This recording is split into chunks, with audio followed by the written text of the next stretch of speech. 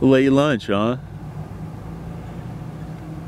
What's that? I said a late lunch, huh? No, we're just headed back to Montrose to get some more stuff to bring up. So. Oh, you guys are moving up here? Yeah. We've been living up here part time for the last